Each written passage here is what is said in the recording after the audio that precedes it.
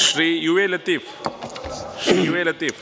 Sir തെരുവ് നായ ശല്യം നേരിടുന്നതിന് സംസ്ഥാന ഗവൺമെന്റ് എടുത്ത നടപടികൾ പരാജയപ്പെടുന്ന നിലയ്ക്ക്. അതിന്റെ കാരണങ്ങൾ സംബന്ധിച്ച് വിശദമായ പഠനം നടത്തി നിലവിലുള്ള കേന്ദ്ര നിയമങ്ങളുടെ പരിധിയിൽ നിന്നുകൊണ്ട് ഒരു പുതിയ ശാസ്ത്രീയ നടപടി സ്വീകരിക്കുവാൻ സർക്കാർ തയ്യാറാവുമോ? യെസ് മിസ്റ്റർ സാർ ഇതിനുള്ള മറുപടി ഞാൻ പറഞ്ഞു കഴിഞ്ഞതാണ്. ഒന്ന് സർക്കാർ സ്വീകരിച്ച നടപടികൾ പരാജയമാണ് എന്ന് പറയാനാവില്ല. നിലവിലുള്ള കർശനമായ കേന്ദ്ര നിയമവ്യവസ്ഥകൾക്കകത്ത് നിന്നുകൊണ്ടേ ഇന്ത്യയിൽ ഏത് സംസ്ഥാന സർക്കാരിനും ഈ പ്രശ്നത്തിൽ ഇടപെടാൻ കഴിയൂ.